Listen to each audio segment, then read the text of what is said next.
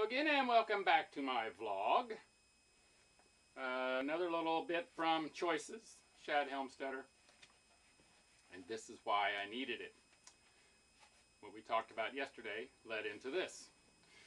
Practicing choice thinking controls procrastination. Hmm. Choice management would have a great impact in some people's lives if it did nothing more than help them get procrastination under control. Being aware of your choices does a lot more than that, of course, but procrastination is almost always the direct result of failing to manage your choices. Let's say that it is Saturday afternoon and it's time to water the lawn. It's not a big job. It takes only a few minutes to go outside, set up the sprinkler, and turn on the faucet. But it is a task that has been easily put off now and then over the past few weeks and the lawn is starting to show it. The thought comes to mind. I should water the lawn. In the past, the next thought has been, I'll do it later. But this time you say, is this a choice? Yes, it is. You then say, this is my choice. And then, my choice is, the choices are 1. To water the lawn. 2. To not water the lawn.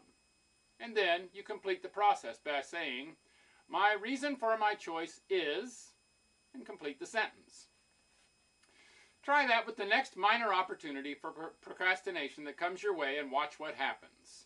Keep handy your 3x5 card with the four steps written down on it and go through each step, reading them out loud or saying them silently to yourself, and go through the process.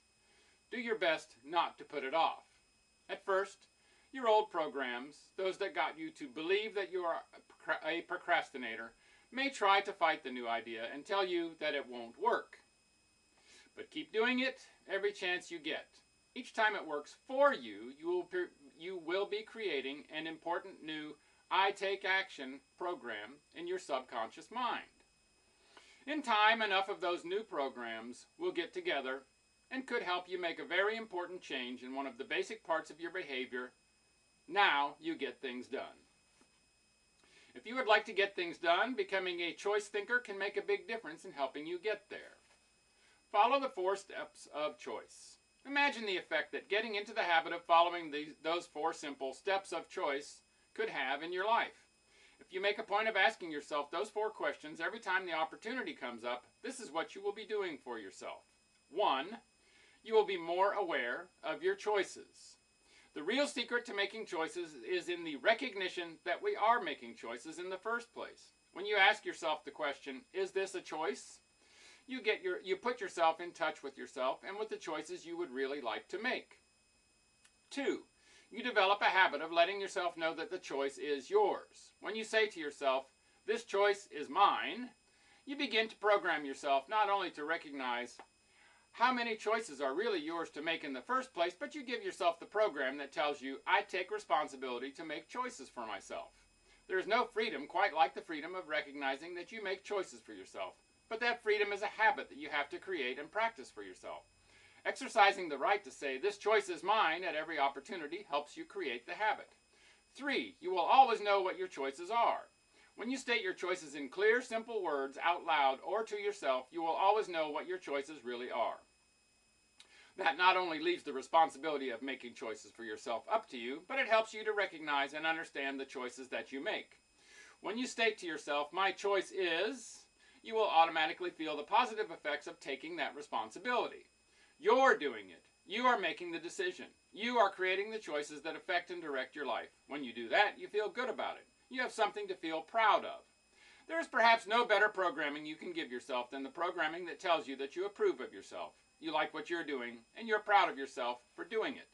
Four, you will learn to become aware of why you make the choices you make. In the past, Many of the choices that each of us made, as we have learned, were the result of our past programming. It was as though those choices were up to them instead of us. Now, you are in control of your choices. You're aware of the choices you make, and you know why you make them. This is a picture of a person who is in control. Each time you ask yourself the question, why did I choose to make this choice? For, you force yourself to give yourself good reasons for the choices you make. That can be a challenge, but it is worth the time that it takes to ask yourself the question and give yourself a good answer.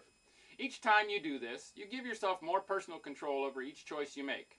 And doing that always gives you more control over what happens to you in your life. Again, one, ask yourself, is this a choice?